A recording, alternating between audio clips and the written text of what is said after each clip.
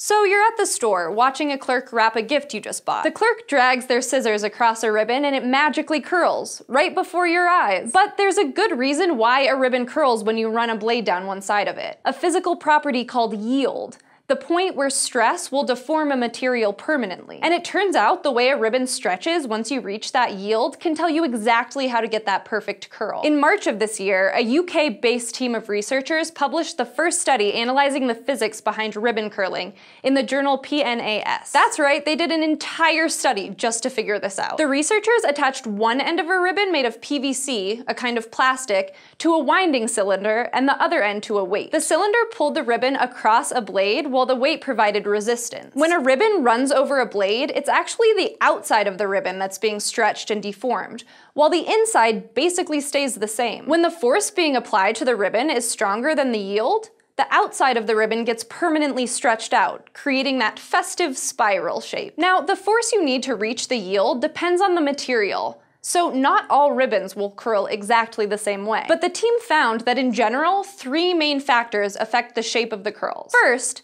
Using a sharper blade forms tighter curls because it bends each part of the ribbon more. Pulling the ribbon across the blade more slowly also forms tighter curls because it gives the material more time to stretch and deform. Finally, using more weight makes tighter curls because a heavier weight forces the ribbon to stretch more until the weight gets too heavy and then the ribbon breaks. Although for sharper blades, it only helps to increase the weight up to a certain point.